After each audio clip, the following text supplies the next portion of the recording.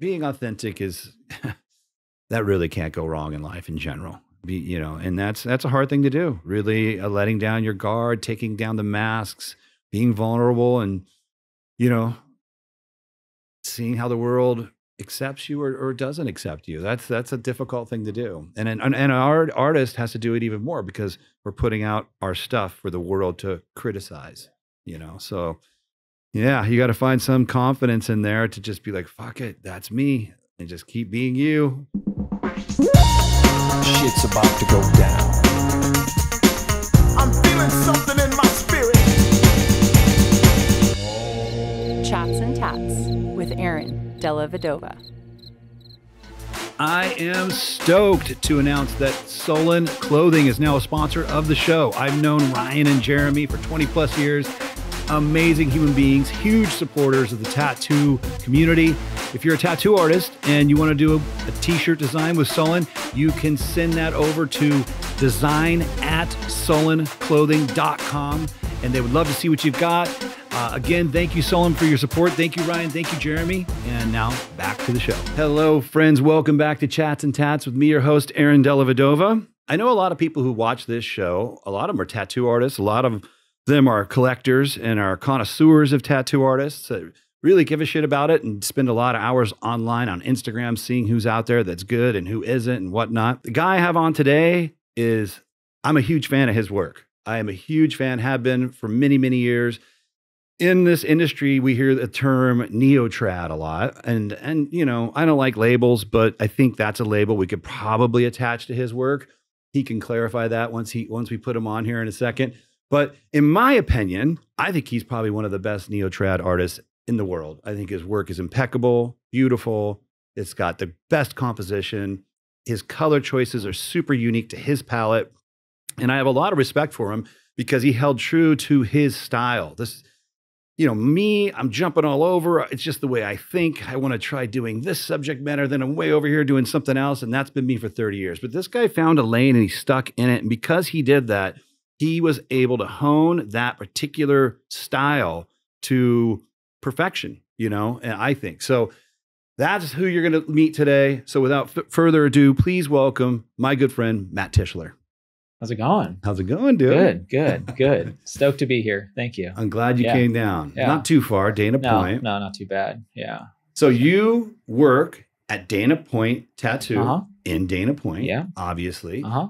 How long you been there? I think I'm going on six years now. Okay. Yeah. Right on. Yeah. But you were tattooed in that area prior in to that area too. prior. Yeah. A little bit inland in like Lake Forest area. And then there was another little private studio shop that opened up in uh, Capo Beach. It's like in between Dana and San Clemente. Okay. Yeah. What does that take your total? Like how many years you've been tattooing now? I think I'm at a little over 14. Mm, okay. Yeah. yeah. 30, brother. Crazy. I can't believe it. crazy. I can't believe I hit 14. Yeah, I, I found some old machines the other day that had like numbers on it of the date, and I was like, wow, that's that, by- that's crazy. It goes by quick. It goes by quick, man. That is so true.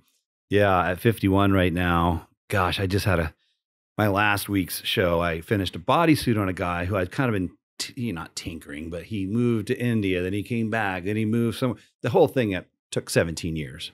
Guy became one of my best friends.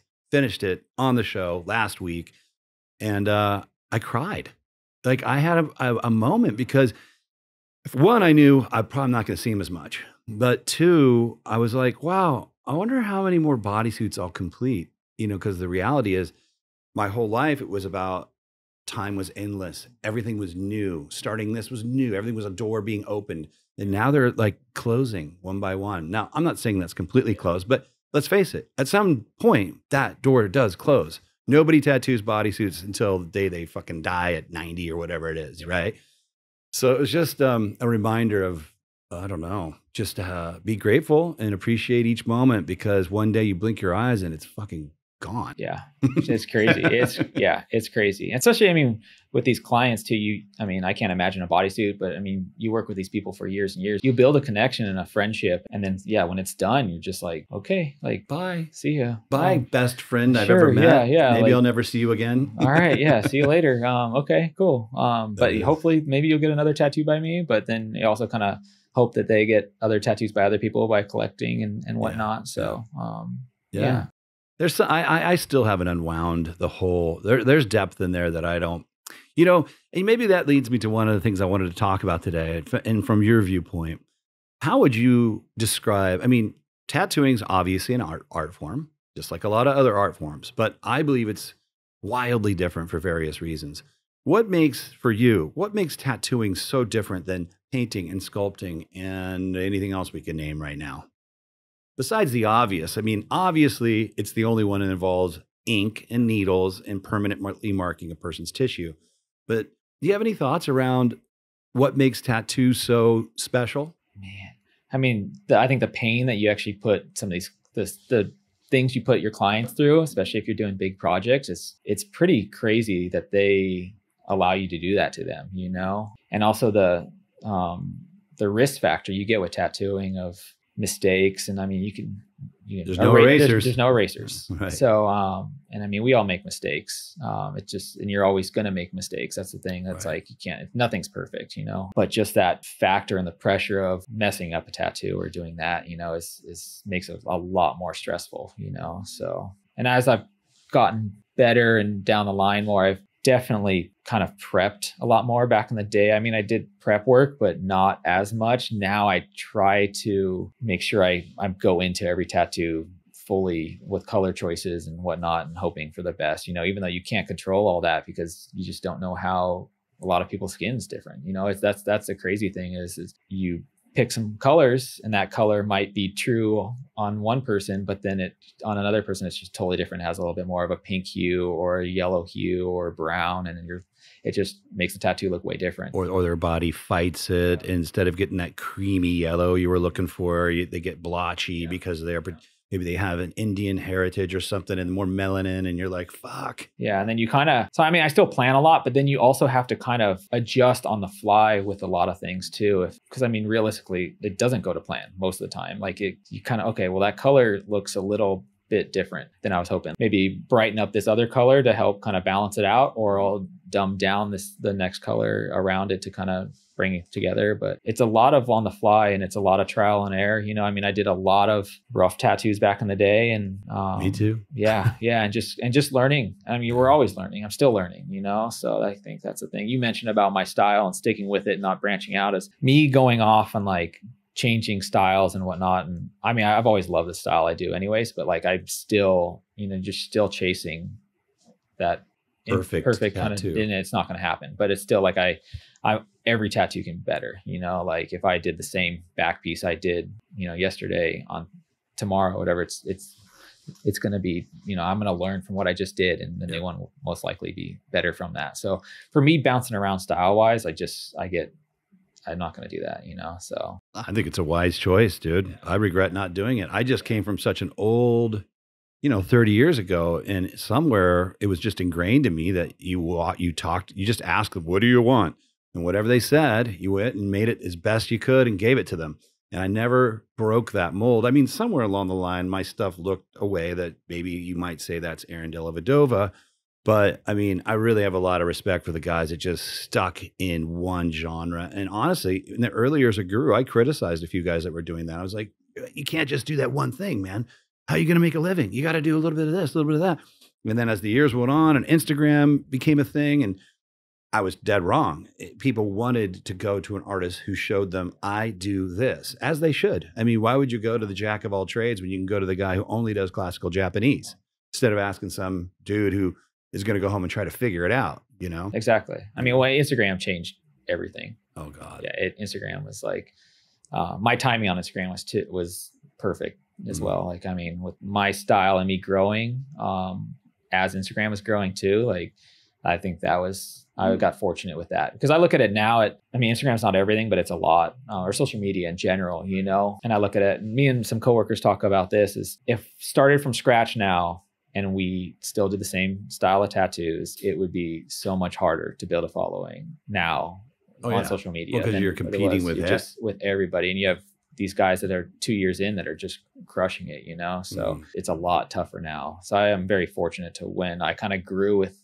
with instagram as my style kind of progressed through the years and, and whatnot so I get that. And yeah, it is a big deal, man, because it's it's a lot of things happening simultaneously. Like I was talking to somebody the other day about this, and I'm like, you know, for my whole career, I think the main thing that I had going for me that kept me popular and booked out and all those things was I could just draw and illustrate something cooler than the next guy. Not every guy, but most of them. So if you wanted something, you wanted a snake, you wanted a skull, you wanted to look fucking dope, you had to find somebody like me that could kind of get crazy with it and make it look dope. And now even the iPad, like it's become way easier for somebody who's relatively talented to rip a very cool design.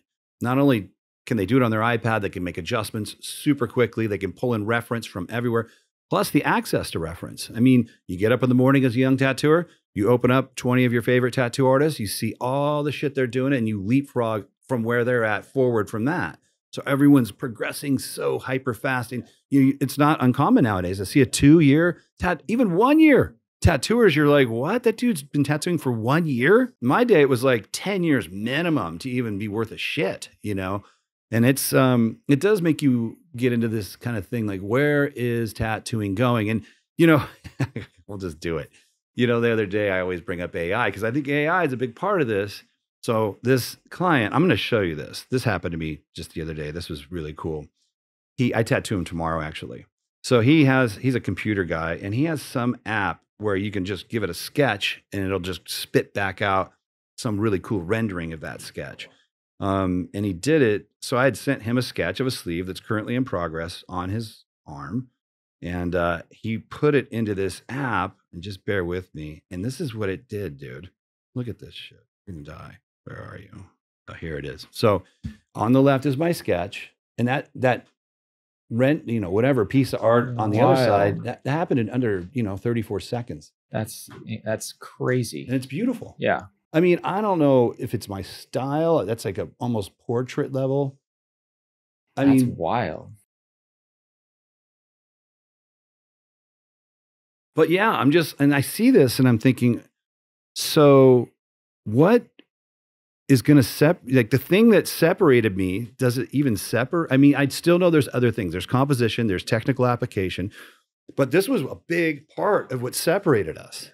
Um, and now it seems to be going away you know? What do you think about that? I think that's part of especially us is is being creative of like a client saying, "Hey, I want this, this, and this here on my arm or my back. Run with it," you know. Mhm. And I think that's part of the trust and what our clients kind of look forward to. I think is, is not really knowing what they're going to get until they see that and trust our vision with it. And like, yeah, AI can can do that, but still not you, you know. And like, I don't. I've seen a lot of AI stuff, and I it definitely seems a little bit more on the realistic side. So I just, and I also think so. Like you know, say I spit out, say someone types in uh, lady face flowers animal or something for me, or Right. like a bird like stuff you tattoo. stuff tattoo. I would tattoo, a general thing I would tattoo. And AI does a cool kind of neo piece. So, and then I have to tattoo that, or say I wanted to tattoo that just to see. That's still not my style. So I feel like as I was tattooing that, I would be kind of lost and questioning myself on how to tattoo because it's not. I'm, I didn't draw this. You know, Right, this is not like how I visioned this tattoo. This is some something else. You know, it'd be like me trying to tattoo one of your tattoos almost. Like here's here's the drawing. So on that aspect, unless they go and end up AI end up doing the whole you know tattoo drawing to tattoo start to finish kind of deal, which I have a hard time seeing actually right now. But like, um, I don't know. Well, I mean, one thing though you got to remember is I'm sure I could have, I can find an app where I could put in 20 tattoos you did and then tell it to do a lion head with a girl head. And, and then it'd probably spit out something that looks super Tischler, It probably yeah for sure. you know? And so I'm a two year tattooer in Germany and I've got some guy going, I really like this guy's stuff. Okay, give me, give me two minutes.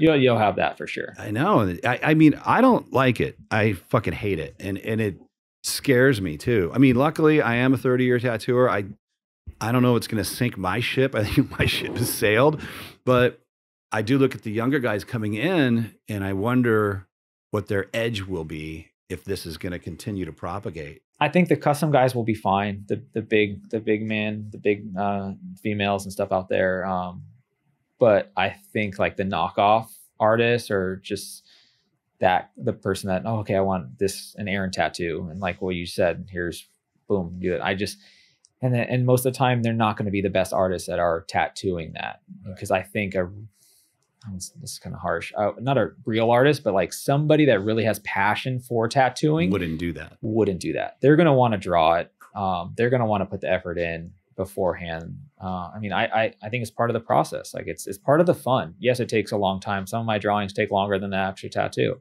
but it's part of the creative aspect of of tattooing is is having us design it and draw it. And I, stuff. I So, agree. I mhm. totally agree. But I do, I do wonder because I mean, and then you could take that thing, like even that piece I just showed you, like he gave me that after I executed his tattoo. But if he had given me that before, I might have, might have maybe, you know, at least used it as inspiration or Mhm. reference, and Yeah. it would have changed maybe what. I would have created. So now it's elevating me.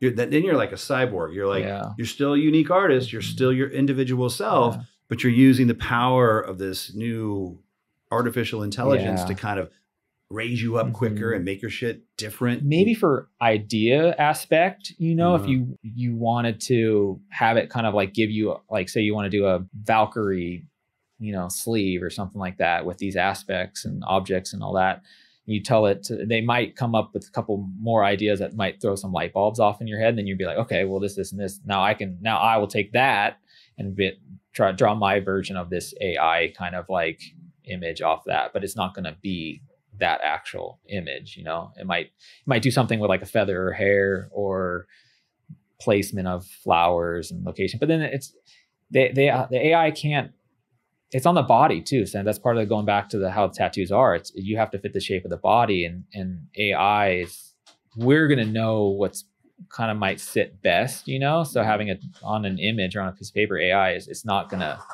then it's not going to fully know exactly how it should should sit you know That's true, but say I get that little app where it's the a human arm and you can spin it, and then I just roughly sketch. I want the bird here. I want it to be about that, about that size. I want it flying upwards. I want this stuff, the filigree coming down through, and I want on the inside. I want the face, and I just get it roughed out, pump it through the program. Rah, it spits out this really cool looking thing. Then I take that thing and I change it, add to it, take away from it. I think we're going to see a lot of that fusion with it. And you know, I I have some friends that are deep in the um, animation world of digital art, and that's that's what they're all telling me. They're like the the artists of the future are going to be you know working with it. So, but I mean, look, there's always going to be the the guy who's like, I don't do it that way. I'm Yeah. analog, and he'll be busy. He'll have his people. But the Uh-huh. idea that a lot of young tattooers aren't going to be doing this, I just don't think it's true. yeah I think they already are. I I think it's good in a way to if you can use it, like we were saying, is maybe get ideas out of it. But for me to tell a program, this is what I want, um, and, and then have that print out, and then me line draw, like trace off of that right. thing they gave me, and then me put that on. I don't know. I me personally, I would just feel so like, Dirty. dirty. Yeah, like, this is like I felt like I, I copied somebody. You Yeah, know, like this yeah. is not me. And I and I and it goes back to tat- I mean, each piece, and I'm sure with you, is that we do is is part of me. It's like I put a lot of effort into this, and that's part of the joy and stuff of of doing tattoos is that the amount of effort and my personal like vision of a tattoo and I would just feel so deflated and so just like I don't I I, I personally couldn't do it. I could do it maybe as like getting ideas um, down the road of like exactly okay I want to do this kind of sleeve. What's this thing going to show me? It might look kind of cool. Okay, cool. Maybe I'll I can take some ideas off the image they they send me, but uh, to copy and paste what they or the AI drew, I, I don't know. I'd be Well, I, it would be it would be tough for me. Oh, you Yeah. would never Yeah. do it. No, I, I mean, I wouldn't either. I'm just more bringing it up. Like I'm trying to, in my mind, picture what does the tattoo industry look like in 10 years? And I know this stuff's here and I know it's going to get better, faster, and cleaner every single day. So I don't know what the answer to that is. But I mean, and I use tattooing, but every creator out, out there is going through this. You know, painters. I mean, I just saw this gal on Instagram the other day. In fact, my friend, one of my good buddies who works at Adobe, showed me to her. Her work is insane, dude. And she's drawing it on her iPad and she's drawing it, but she's using all these different types of brushes and effects and you know, things that would be extremely difficult to do with pens and papers. And and then when she's done, she gets it just right. She, they, they print that on a on a piece of canvas. she's showing in these beautiful galleries in London, fifty thousand dollars a piece. Crazy. Yeah, it's all digital. But that's all through her though. Yeah, Her, she uh, did draw. Yeah, she did draw. Yeah. But um, Some of that stuff they do on Procreate is mind-boggling. I am sitting there drawing these these images, and I'll go on sometimes like the Procreate like uh, Instagram. This is do insane. you use Procreate? I do Procreate. Okay, Yeah. me too. Mhm. Yeah. Yeah, that was another one I first got. That I remember my whole shop looking at me like I was like the first guy. you know, I don't know how many. Hmm. I was one of the ago. first. I was judged, yeah. man. It was like, oh, what's he doing? We'll, I- we'll never do that. I can't find anyone without It is I- a game changer. Yeah. It is such a it is such a game changer. And I mean that goes I'm not so structured into like what whatever's going to give me the best tattoo and that best outcome, I'm going to do it, you know? So I know when the pens and the cartridges came along, um if it's easier for me to complete a better tattoo that way, then I'm going to do that, you know? So Me too. Me too. I, I adopted those right out of the gates as well. Wow. I'm like, oh, a machine that was going to run the same every time I pick it up. Mhm. t- give me six of them right now. You know? serious, serious. And then, yeah, not only the hand, just the weight and whatever, um, but just having to swap machines out or having, you know, six to seven machines out on your, your, I don't miss those days. Yeah. it's wild. Yeah. Yeah. So you do work with a, a wand or pen machine pen, with yeah, uh-huh, cartridges. yes. What, what what what do you use? I use the critical pen now, critical Okay. torque pen. It's, it's pretty new. Okay. Um, it's, it's really good. Oh. Yeah. Um, yeah, it's, it's similar. It's like, um, direct drive like a lot of the machines out there Mhm. but i guess the difference between this one and a lot of the other direct drives is the cam is locked in. So a lot of times when the cam say hits the skin uh, the cam will actually kind of like it kind of does a little wobble so that gives you a little bit more of like a give. It's actually kind of locked in. The engineer guy i've actually become kind of close with he kind of told me all the, the rundown on this. I actually ended up prototyping this machine like two years ago and like had gone through the generations of it. And at first it was like this thing is gnarly. Like i not using this. There's no way. And then it just kind of broke down into like this a more of a fine-tuned vehicle. And um i love it you know? But um i'm it's it's tough because i'm not like sitting here trying to sell people on stuff. So like I always get asked like what do you think about it? And for me it's really good. But for you you might not like it you know? So but overall i i really enjoy it out of all the the machines i've used or all the pen style machines i've used. It's it's a solid smooth machine. Um I've been on Yeah. uh, Bishop rotaries for uh-huh. oh, a decade or more, more, Mhm. 15 years. And I love them. I love Mhm. them. I just love that direct drive. I feel like you can just, the ink just goes Yep. in, man. There's Mhm. no like, is it in there? It's in there. Uh-huh. Uh-huh. so that's cool. That's Sick. cool. Well, let me, you know, I, I know of you. You're, you're just a really nice person, a really um, genuine guy. I try to be. Yeah. And that's, that's something that I always love talking about is how important what it is we do. I mean, people, you know, they they trust us to change their physical appearance, you know, to and the pain that you're going to inflict on them.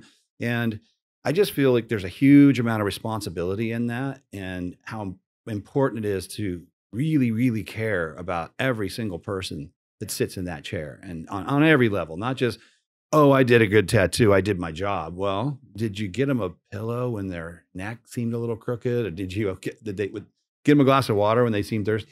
I mean, how do you kind of? I know you feel that way, but what's your?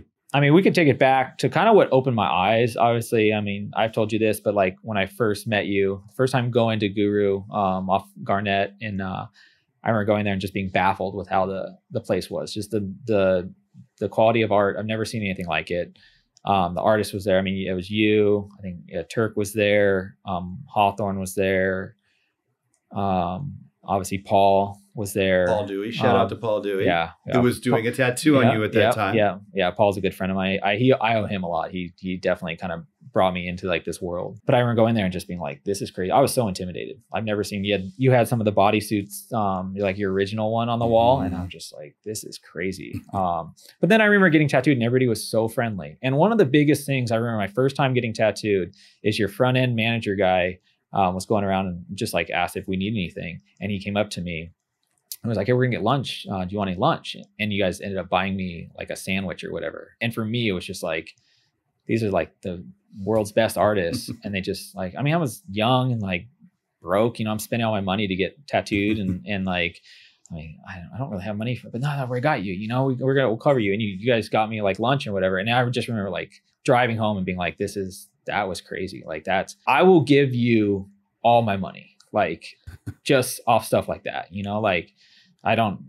I'll, I'll figure out how to get gas money home. You know, but like if like just the fact of like treating somebody like that and and and like buying lunch is it's simple, you know, but like it meant the world, you know, like it really did. And so that was a good base on kind of showing like quality of art and then just how to treat people and just like little things, you know, like not saying I buy my clients lunch all the time, but if I'm going to go get food or coffee or something, I mean, what's five, 10, 20, 30 dollars when your client's spending, you know, thousands of dollars if they're getting a big piece by you, like, and, and for them, it means a lot, you know? So that's just treating them well and just being honest with your clients being try to be make sure they're comfortable you know uh, not try to baby the client but definitely like how you doing? Let me know if you need to take breaks. Like don't try to be like a hard ass all the time you know? Like if you want to take a stretch just let me know and we'll do it. But yeah i think just going back to like seeing how you guys took care of your clients and just mm-hmm. overall the, the setup of of like you know how everything was proper with like you know bed sheets and pillows and i mean I, you you'd be surprised how like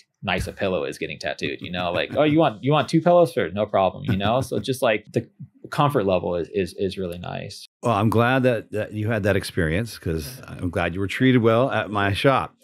But you're right. And that, you know, to me, it just sends a message. And the, without saying it, you're sending a message. And the message is, I really care about you. And I think that is is so huge because whether people want to admit it or not, they're scared, especially if they don't know their tattooer yet. They're they act tough and they act cool, but inside they're terrified. They're like, "How is this going to go? Is it going to be good? Does this guy give a shit about me? Is he having a bad day? Is his bad day going to ooze into my tattoo?" All these things are going through their head. So the the second you just say the simple thing like, "Can I get you some water? How are you doing? Is your neck comfortable? Do you want another pillow?" They immediately soften and be like, "Oh, okay, this is a nice guy who's going to make sure I'm okay." And then when that energy sinks into them, our jobs get a hell of a lot It's- easier. it's so much easier Yeah. they sit longer, they're happier. You know, I've seen tattooers that in subtle ways send an energy field of, I'm going to give you a good tattoo today, but don't fuck with me. Like, don't change much about it. You know, I'm nice, but just don't fuck with me. And their their clients never sit as long. And they're always the guy like, oh, why my my guys always stop after an hour and a half. I'm like, because you're you're not nurturing them. You're not helping them to be comfortable. You're not helping them to feel safe. And then they get their energies up here and they get tired and that hurts more. And it's sucking your energy too, because you have to hold that person as they're like inside their mind, like losing their shit. And you're, you know, the whole thing is so symbiotic and so easy. But it really does start with ta- tattooers need to be very caring people, I think is the really the end result. and I, I mean a lot of these people coming in are so excited to get a piece by you you know? So last thing you want is them to leave and be like yeah i got a cool tattoo but the guy or the girl was mean or awful or jerk you know like um and that that would suck. And i've had i've had clients. I've had good i've been fortunate to tattoo a handful of um, tattoo artists and i've had good tattoo artist clients get tattooed by other artists and i was like oh let me see that piece you got. Oh that thing's amazing. Like yeah it was it's a good tattoo but the experience sucked you know or like the just wasn't so i i don't know i i always try to be very i mean you can get me on a bad day don't get me wrong but i still try to be in the moment and treat my clients with respect and and i'm just i'm honest you know like i'm very truthful i don't i'm no bs when it comes just in general um with everything it's just i am who i am you know and um just try to treat them how you know i would like to be treated or going you know it's not so that complicated. not- it's really not, It's no. not that hard. Yeah. And you know, and like you said, once you get a tattoo and it's maybe not the best experience, every time you look at it, you don't get that feeling of like, yeah, Mhm. you get that feeling like, Yeah. uh, yes. you know. No, so it's like a permanent bummer yeah embedded in your skin. yeah That's Yeah. just that Yeah. sucks. That sucks. Well, let's let's shift gears a little bit. I mean, a lot of people out there might not know this, but you am I fair to say when you were younger, you were a professional BMX racer? uh-huh You were pro. i was pro yeah Wow. uh-huh. And that was, and I know you still ride Mhm. bikes. And, Yeah. And I know you get on that BMX bike once in a while. I saw a video a while back where you did something.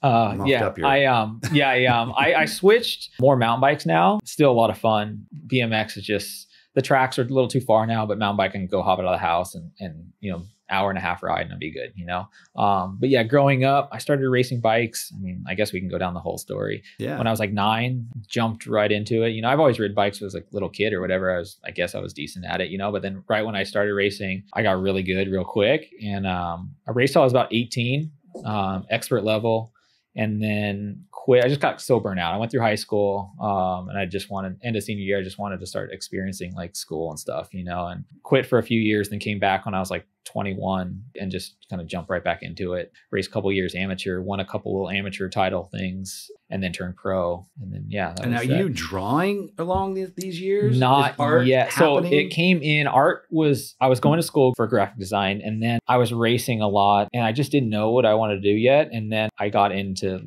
working at this shop again as like a front end. They needed I needed like training for racing takes a lot of time, you know, and I needed and then uh, traveling. So I was always gone a lot. So I needed a job that was pretty lax. So I ended up working at a friend's tattoo shop, John Diendas. Oh Um, yeah, yeah, oh, yeah That's John's so he spot. yeah so he brought me in as like a front end manage the shop he already knew me from outcast that i kind of know what's going on and i'm a Mhm. straightforward guy that i can handle it so yeah i brought in through that and then yes racing was very serious but then i was just kind of looking at some of the numbers of like what you can make racing and then i saw not saying it's all about money but i'm just trying to like plan for the future you know? And i saw some like what you know i was starting to draw tattoos for some of the guys at the shop and i'm like hey i, I remember drawing this dragon tattoo for one of the artists there and he gave me 20 bucks and i think he made four or 500 bucks off of this. And i was just like oh wow like that's that's wild you know? So i just started seeing the numbers that were coming in and then the racing numbers and the effort that was going into that was pretty tough. And I was a little bit older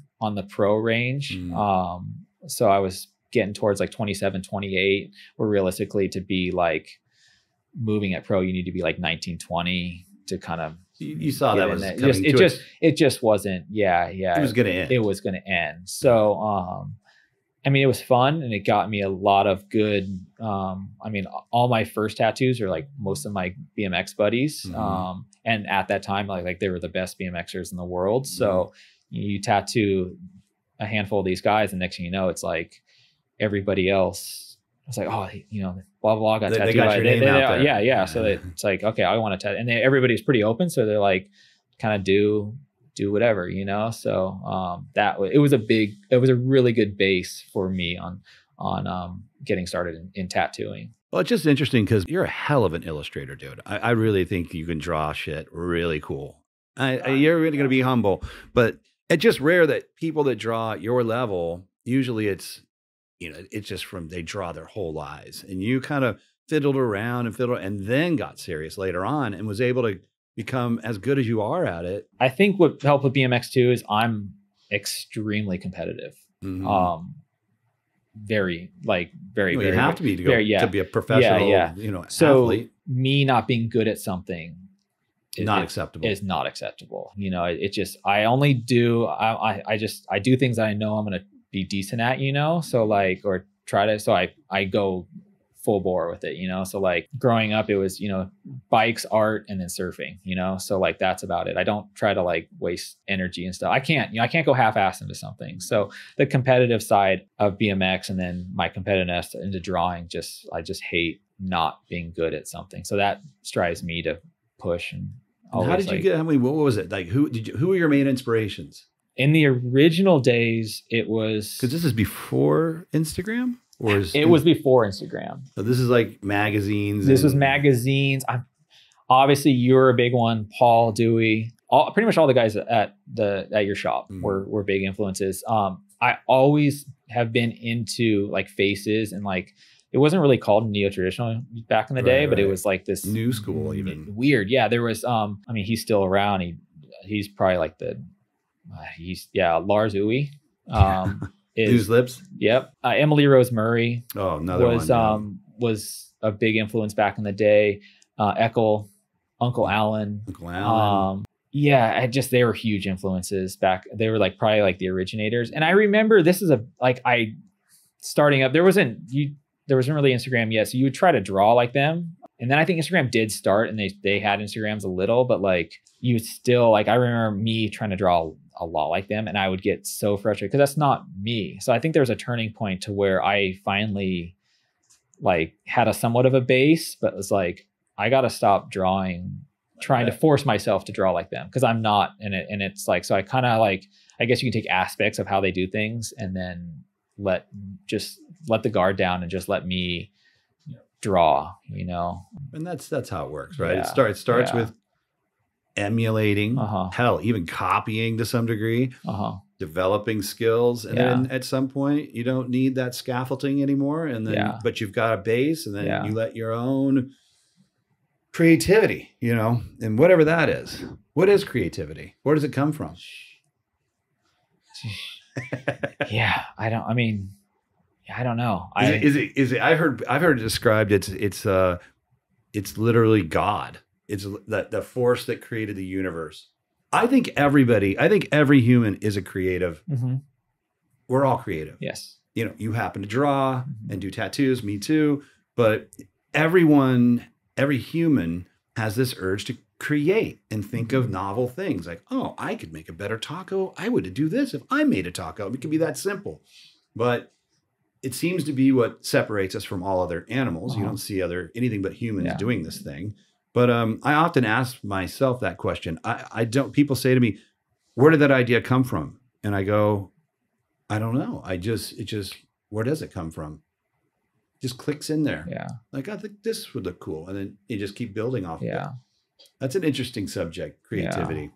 Yeah. I don't know.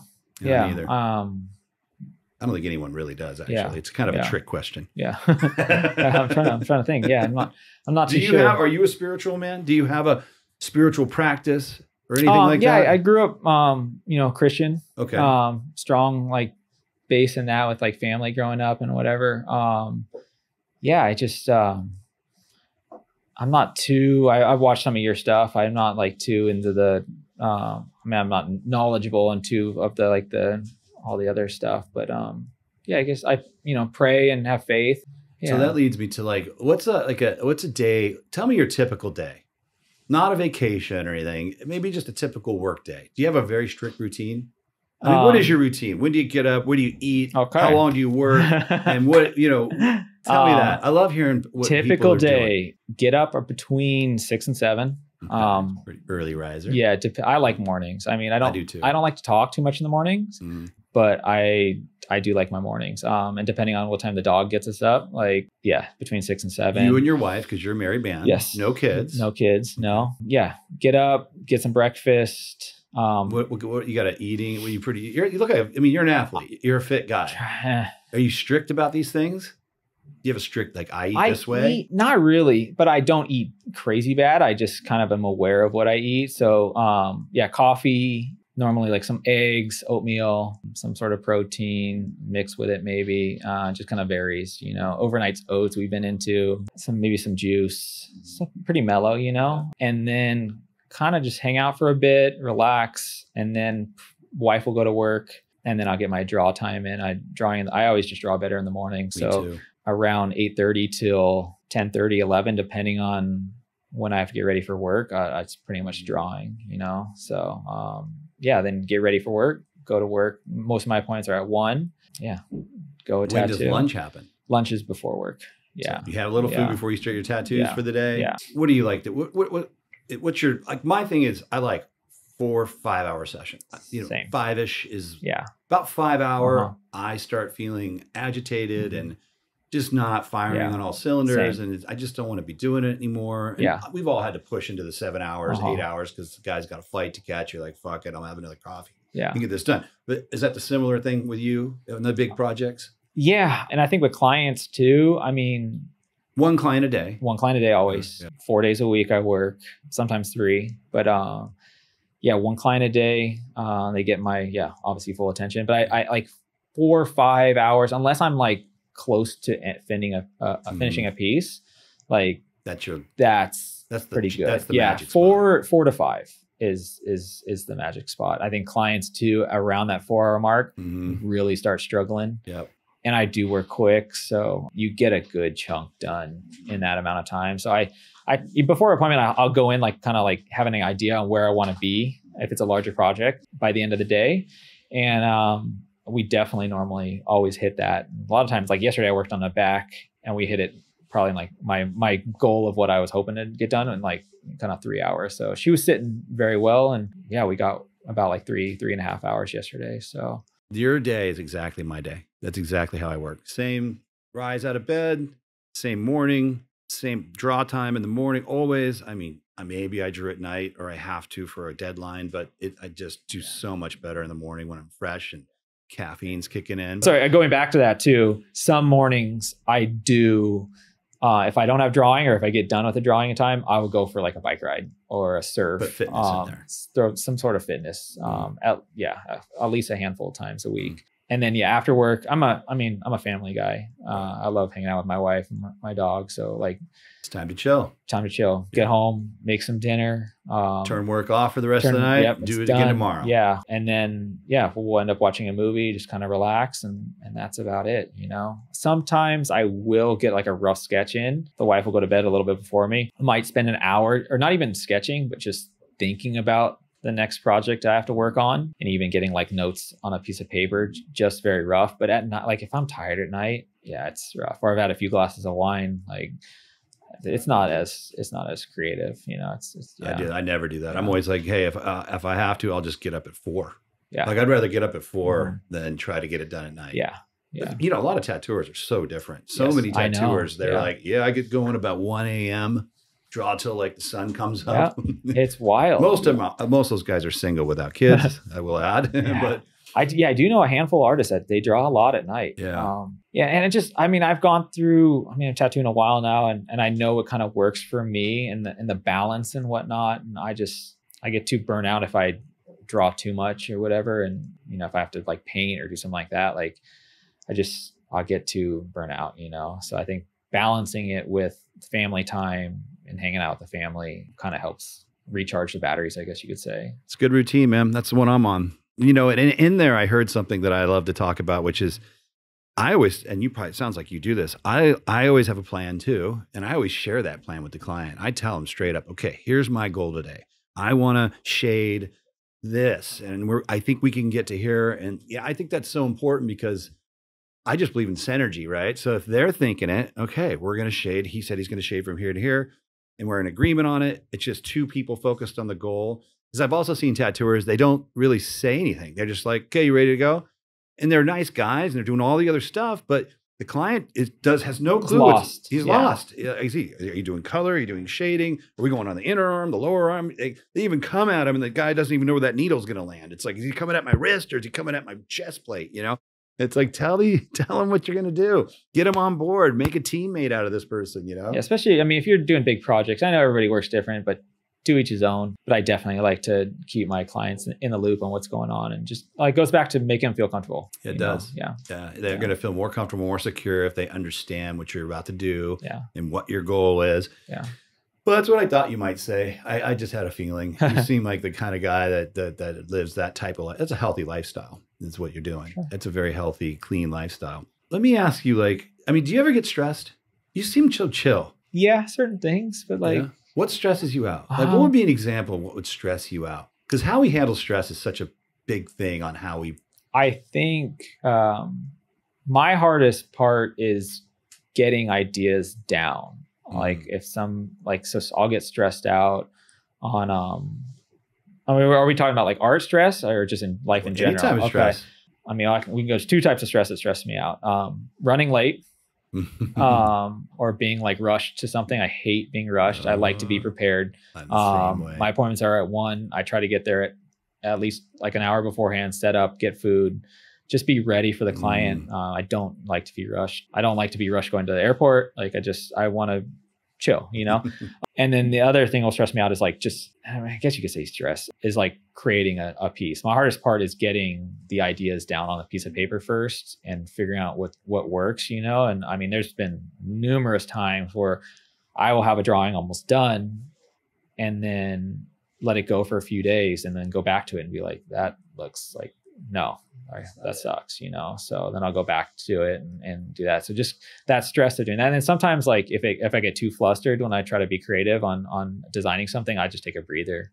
I'll go for a bike ride or a surf and and come back to it. I read somewhere, I don't even remember where, that it was about a book but for creatives. And they were talking about brain scans that they do in that early phase when an artist is trying to basically the creative phase. Because after you've got the idea down and if you've been doing a certain subject matter long enough, it sort of rolls after that. You kind of know what to do after that. But like how the placement and what choices you're going to make, that's the That's the create the most creative part of the journey. And I get the same way. I get this like stressful anxiety, frustration.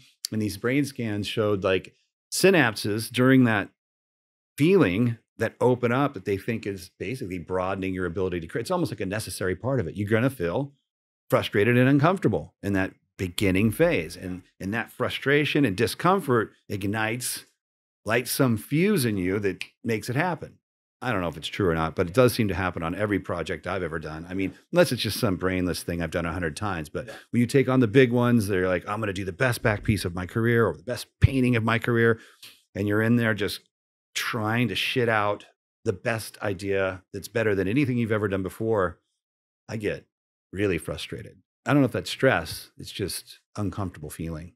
But stress is a funny thing. Yeah. I don't even know if it really exists. I think it's just a sometimes life feels uncomfortable. Yeah. That's just the way it is. Eh? Exactly. And Yeah. you Yeah. can call it stress or you can just call it I feel uncomfortable. today." Yeah. Yeah. Nervousness, stress that, I mean, it goes back to like BMX too, being like stressed for races or nervous, kind of that. I'll sometimes try to take that same energy and then with tattooing and be like, all right, well, how did I get through it back in the day when I had a big race or something and I was super stressed out about and all this and try to put those same aspects into tattooing. Well, you you had to work with it a lot Yeah. in a competitive, Yeah. professional, athletic Yeah. career. I mean, Uh-huh. talk about stress. You're up at the gate and it's like, Yeah. am I going to win or am I going to lose? yeah.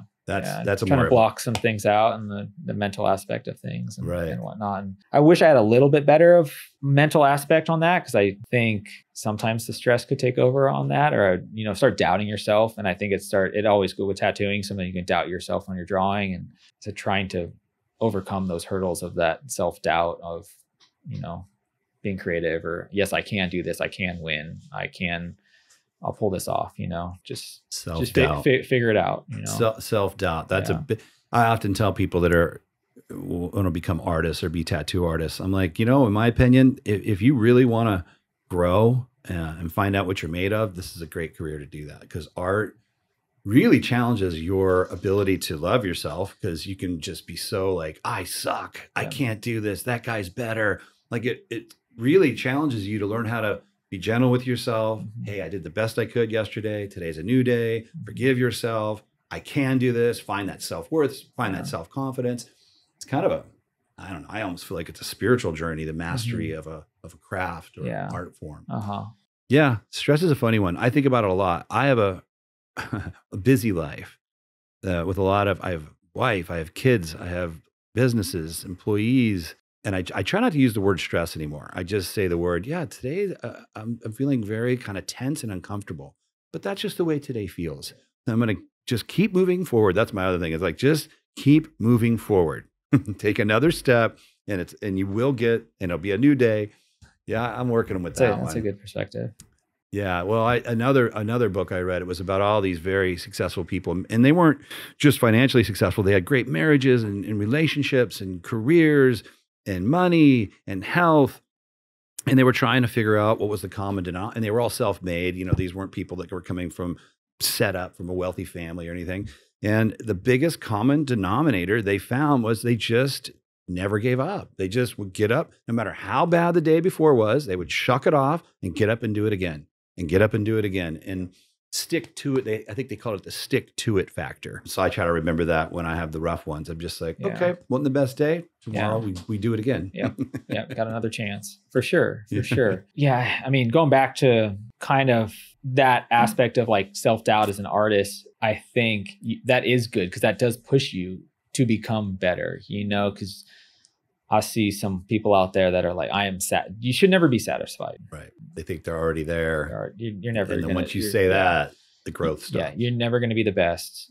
Um, Mm-hmm. You're never going to be there. You're going to be frustrated with. I mean, I I'll say it, like I get frustrated with not all my tattoos, but like you're never 100 percent satisfied with any of your tattoos. I'll say it more clearly. Yeah. I don't have a single tattoo I've ever done that I can tell you that's it. Wouldn't change a single thing. not not. I mean, yeah, not at all. I mean, I, there's every single tattoo. There's you get done, you're like eh. some or maybe it might be a little bit more better than others that you are happy with, but there's never one you're like, nope, that, that I, I couldn't have done better. No, there's always so having that is such a huge driving factor. But I think I mean you see it. You see people that are opposite and oh this is good enough. You know, I'm I'm I'm crushing it, you know. So Or the other one who beats themselves up so much that it just ruins their career. Like you got to can't handle that. Yeah. Well, and that's why I said be gentle with yourself. You know, I, I've got you know people that work with me here, here at Guru, and I've seen them just torturing themselves over something they felt could have been better. And I'm like, look, let me ask you a question. When you drew that or tattooed that, were you trying your best? Yeah, man, I was trying my absolute best. Did you come in prepared? Did you come in sober and well rested? And yeah, yeah, yeah, yeah. I'm like, then that's it. What else could you have done? Yeah, I mean, that's everything you had that day. so, as long as you're always giving everything you have in any given moment to whatever any given thing is, whether it's a marriage or raising kids or drawing a sick tattoo, I think if you're doing that, then forgiveness for if it didn't go perfect comes a little quicker. Yeah. You just be like, all right, I forgive myself. I'll do better today. Yeah. You know, For sure. it's an important part of, uh, I think, an artist's career. Yeah. You know what? What about advice? There's so many young, new faces coming into tattooing. Oh, I mean, man. it's it. Well, first of all, we can both agree on this: the amount of talent that has entered this field is staggering. Uh-huh. It's absolutely staggering. I think you have seen. We just It's- flip on the Instagram, yeah. like, don't Yeah. know this guy's name, Yeah. killing it, killing it. Who the hell is this? Who, Yeah. You know, all these countries too. Like, who knew Uh-huh. what the hell was happening in Spain and in Europe and Wild. Poland and Yeah. Australia. Like the guys in Australia are just they have their Yeah. own scene happening. That's actually sorry. Another huge influence to me, uh, Sam Clark. Oh, yeah, back in the day, he's He's and- Australian, right? Yeah, and also one of the nicest guys ever. never yeah. met him, but yeah, I've never met him, but just messages and whatnot. He's Mhm. always yeah, we do DMs. so yeah, always so grateful and nice Mm. um, on any like thing I've messaged him, and it's you generally tell he he's truly thankful for for that. So Mm. like stuff like that is um, it's cool. You know, it's it's really cool to see. Um, Well, with all that happening in the in the stuff we talked about earlier with with AI and with iPads Tips. and what do you say to the young guy? Because I, you know, just the other day I was actually I had a little get together at my house last night, and um, there was a woman there who has a, a client whose son wants to be a tattooer. They had asked her to ask me advice, and I was like, well, she's like, he's really not super motivated and not super talented, and I, and Eh, I, I hope they're not listening to this, but I didn't use any names. But I said I would stay the fuck away. it's like I would run. Like that worked when I got in. Like you could be okay and make a good living. Those days gone, in my opinion. And you you can't be in the top ten percent at some point. Maybe not the first year, but some point in your career, get up in that top crust. I just don't think it's a very um, it's tough. good career anymore. Yeah. You've got to be very It's- good. it is very i mean I, we i talk about this with coworkers all the time it's very cutthroat so if you're just an average joe or a you know regular tattoo artist that's good but you're not putting it out there then i mean it's there's so many good art it's just like what are you going to do to stand out between the rest you know but going back to tips i tattoo a handful of artists that always ask me this question now you tell they're kind of nervous when they and i'm an open book so anybody gets tattooed by me or i don't You don't hide your equipment or your no, ink I'll- or needles. I'll give you like samples of stuff I use. Here, try this. Do you like this? Go ahead. I Right. mean, like I, I'm full open book on on how I tattoo. Watch me. Uh, ask any questions you want. You know, I just think, like you said, put your head down. Big thing for me back in the day was how can I do it better when I first started, as if or different or form my style. So if somebody came in and wanted a butterfly, how can I make it as like a walk-in or whatever? How can I make it so it kind of stands out? So it's not that standard butterfly that you see everywhere, the one with the shadow or anything. You know, there's the one that like, so okay, how do I make it so they're like, okay, that looks different. You know, that looks like, you know, and then and then it kind of formed into like, how did did Matt Tischler do this or like to try to form stuff. How can I make this, whether it's the simplest walk-in, how can I make this that it, it kind of stands out? It's a little bit different. It has a little bit of like my twist to it. Mhm. So I think just forming your style and not kind of getting wrapped up all like social media is very good, but it's also a lot of smoke and mirrors. Mhm. Um, there's a lot of filters. There's a lot. I mean, we can go down this subject. We'll be on here for I, another I, hour. I know for a fact Yeah. people that have taken their tattoo photographs, brought them in the Procreate, colored on them, and then Yeah. posted it on, back up on on their uh, page. Yeah. there's. I, I mean, I, yeah, I, I'll swear on Yeah. my on my kids' lives right now. I've never done it. yeah, Never It's- would. It's wild. But yeah. that's why I know when I'm flicking through there, I'm starting to get to this point like, how much is this, is this real? faces all buffed out, you know, and a lot of this stuff nowadays, like, and I think we all learn on like through the process of what's going to last the year. So there's that, there's that dancing of like, how's it going to look now? And then how's it going to look five years from now? And how can I find that like wiggle room to where it has that longevity with it, you know? And we learn, I think that's part of the learning process of, of getting frustrated as well, but like learning the process of, of how can I keep the longevity of this tattoo, yet keep my style in it, you know? So I would say, yes, you want to be kind of connected with social media, but don't just, if you're a good artist and you draw and you put your head down, good things will come, you know? Like it really get uh, drawing's one thing. Like just draw and paint and and just put your head down. Don't worry about TikTok videos and I mean, not, I'm, I'm going to sound like a hater, but I want to see tattoos. I I mean, I I, I want to see. I like photos of tattoos. I don't need to see. I mean, there are some funny tattoo TikToks and stuff like there, but I I don't. I want to see just how cool the tattoo looks. I don't. I don't want to see someone jumping around, you know, and then the tattoo, you know. So I I think just and maybe that's the road we're going. Maybe I'm just getting old. I mean, I, and- I, don't I'm know, with you on that, but I don't know either because Yeah, I sometimes either. these young tattooers they are so good at the TikTok stuff Uh-huh. and doing the the foam reveal Yeah. and whatever the whatever's trending, and next thing you know, they Yeah. they've got you know, a zillion followers and they're you know more busy. and that's what brought me we talked about this with a, i was talking about my coworker brad the other day are we to a point or coming to a point where clients are more satisfied seeing their tattoos and them on social media than in real life are they happier just having it on there you know like that they got posted on this popular person's page than not caring on how bad it looks or whatever in in real life they're almost happier that you know they're on social media and Right. it's like that we live in this like virtual world now they don't really care and what if you they don't post it, they wonder yeah you must yeah. have not liked yeah, it. you must not liked it. So it's like, yeah, I, I know. I always talk about. I, I post. I mean, I, I'm fortunate. I built enough um, following now to where I, I don't have to post as much. That's that stress of and anxiety of like trying to get the good photo, or whatever. So I don't stress out as hard. I because taking photos is so it's so hard on a tattoo. It's it's so I, I barely post. I'm like.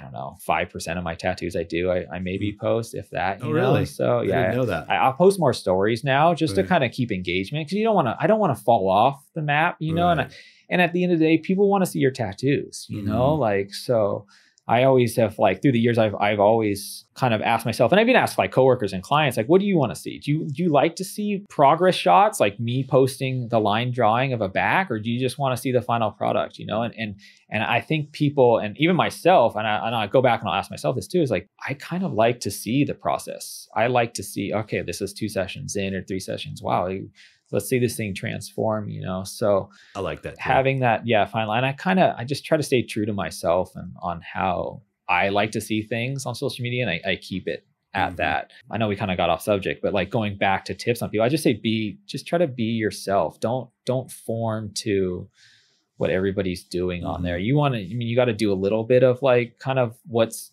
trending, but don't go full bore. Like worry about exactly what social media is is doing. or know? look at this is my style because that's a style that's hitting hard right now. So that's your That's my style. You know Yes. that is Yeah. happening. it though. is. It yeah. is. Yeah.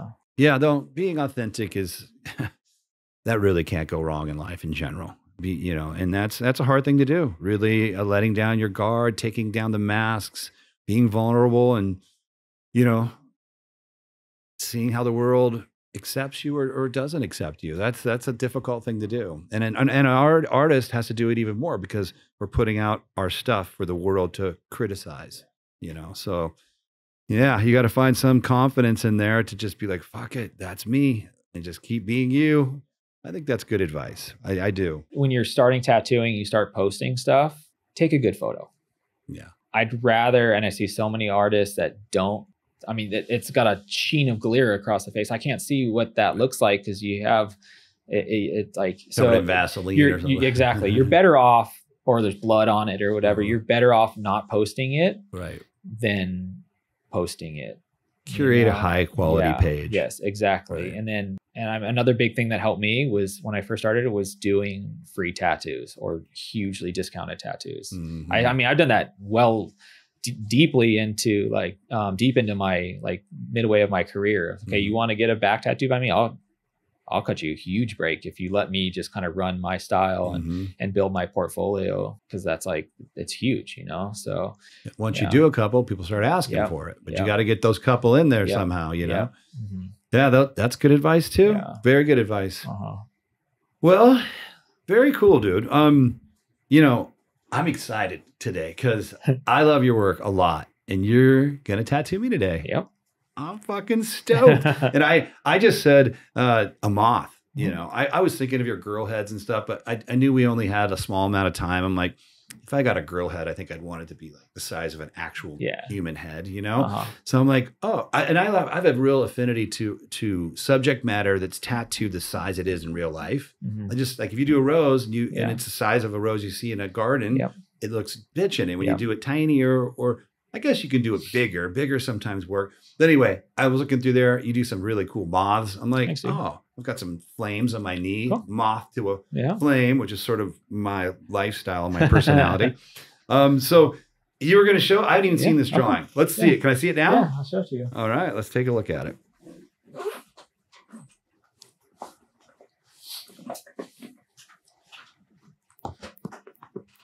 This is the best part of this show. This is Maybe something like that. Oh, yes. I love it. 100% love it. Totally Tischler. Love the colors. like the crescent moon. I mean, obviously, that's like how I say. We can always adjust colors, change certain things if you want. But yeah, Oh. thanks to Procreate, we can. There's adjustments are easy. So look at that, everybody. All right. That's going on right above my knee on my right leg today. You know what I think we should do now? I think we should get to work and then we'll come back over here when, it's over, talk a little bit more about a few of the things I wanted to go through. I'll have gotten this kind of a kind of become a little bit of a baby as I've gotten older. I've gotten a few on the show recently and I get through them, but I'm just sitting there like, Jesus Christ, I don't remember it being this bad. You know, when I had half my, you know, most of my torso tattooed, I, I forgot. But you, I know how gentle you'll be with me today. yeah, sure. Okay. No, yeah, I've heard. I've heard I don't have the heaviest hand, so we'll see. But that area is a little spicy. Yeah. Side of the knee, top of the knee. Let's do it. Cool. All right. Let's do it. High five. Yeah, buddy. Show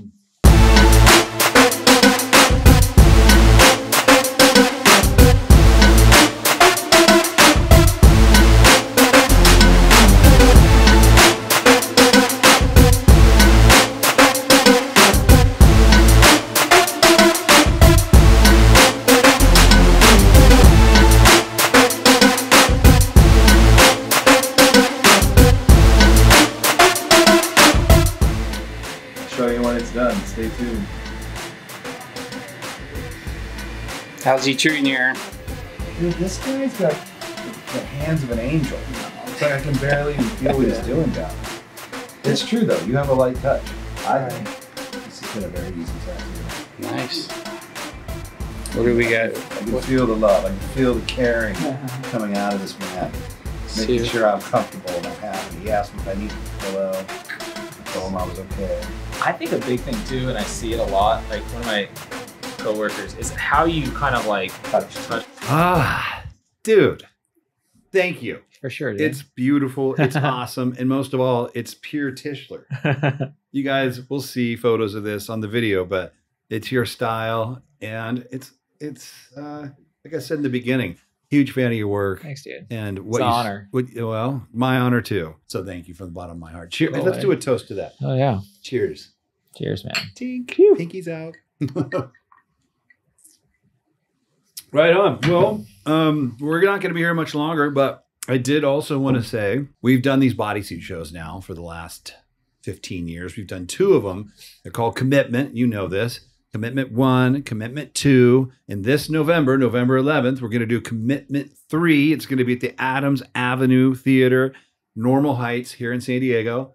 And the big announcement is Matt Tischler is going to do a bodysuit for the Commitment Three show. Mhm. Now you're now you have to do it, dude. I know. If you were thinking of backing out, Yeah. Can't do it now. you can't Yeah. do that now. Yeah. No, dude. I mean, you're gonna do something awesome. No, I'm stoked. Um, I, I mean, I from day one going into Guru and seeing those on the wall, I've always first wanted one, and then now to be a part of it is, is pretty cool. Well, Yeah. you're going to be in there with us all with a lot of other amazing tattooers. I'm not going to go through the list right now on the show, but it's obviously a lot of guru guys and a lot of our friends like yourself and Jamie Goodwin and Febs and Bill Canales and a number of other just talented dudes. So I think it's going to be an amazing show. And I'm just stoked that uh, you're going to be a part of it. I think it's super appropriate, especially considering your history with Guru and Paul and the shows back in the day. Hell, you have one of my suits hanging in your studio, and that's every time I see a picture of you in there, I'm just like, oh. I got the. Oh, I got some old ones too. Do you? Um, I have. I think it was not not the first show, the one with a lot of the gold filigree, oh yeah, yeah, um, with the angel and the angel, and all ripped that one. Yeah, I have yeah, I have that one as well. Full size? No, Okay. no, the the minis. Yeah, Okay, yeah, okay. so. Well, um, when this new show comes out, I'll have a very nice print for you. I don't know what I'm going to make, but I'll make something cool, and you're getting one whether you want it or not. So, um, well, let me let me wrap up with this: future goals. Any big future goals for you, or is it just steady tattooing or just in life, life, in in tattooing? Um, it could be any of it. I. Oh man, Just keep going, just steady keep she goes. pushing. Yeah. Um, try to be a good husband. We get kids. Be a good father. Treat people well. I guess. Um, yeah. I, I just stay humble. I guess you know, and and keep pushing. That's the I, two big things. Is for me is staying humble and like always pushing yourself to to get better. You know. You still have the fire, dude. You- You can see it in your work. You're not sitting back. You could. You could just sit back. You got your clients. You got your style. But I can see with each piece, you're like a little more of this, a little less of that. And you're really, and a lot bigger stuff too. I've seen a lot more Yeah. big work. I have more fun doing that. I think when it's all said and done, it just kind of like same with seeing those the bodysuits and stuff, the the paintings. You just see those in person, you're like, wow. So see a client finish actual a, a big project, it just it looks so much cooler. It's very rewarding, Yeah. even though they take a long time. They do. Yeah. Yeah. yeah. Well, that's cool. Well, keep doing what you're doing. You're an inspiration to me and, a, Thank and tons of the people I work with here at this shop. So keep it up. We love you. We love your art. Um, we love your tattooing. And um, where can people find you? Um What's your inst- Instagram? Just, just say it. Tish Tattoo. Tish Tattoo. Yeah. T I S H Tattoo. TISH Tattoo. I work at Dana Point Tattoo in Dana Point. Right. Um, I have a website as well, but uh, occasionally I'll throw prints on there that you can buy. But other than that, I'm uh, pretty mellow. And if you Yeah. just type in in Google Matt Tischler, T I S C H L E R, all your stuff comes up. Yeah, Not too hard to find. Yeah. Well, if any of you guys out there are uh, looking to get a sweet tattoo from this man, I highly recommend that you do. You know where to find him, and uh, I guarantee you, you're going to be happy. So I thank you again Thanks, for buddy. my new cute little moth. He's going to, I mean, look at that. That's the one I stare at when I Heck yeah, sit, all the time. no matter where I'm sitting. I'm not going to get down that. well, thank you again, my friend. Yeah. Cheers to you. yeah, man. And uh, Thank you. I'll be seeing more of Yeah. you soon. Hmm. All right, everybody, that's it for today's show. Thank you for tuning in. Thank you so much. We've been getting so many comments, likes, and subscriptions. Please keep them coming. I totally appreciate it. And let me know. You guys want to see somebody? I've had so many people. How come you haven't had this guy on the show or that guy on the show? Write me or write them and have them write me. I'm open to suggestions. I want to put people on, not just tattoo artists, but anybody that was out there pushing the envelope and doing things that are unusual and leaning into life. That stuff's exciting. Those people's stories is, is exciting. So if you got somebody you can think of and, and that loves tattoos or at least likes tattoos, send them my way. So that's it for today, you guys. Thanks for tuning in. We'll see you on the next one.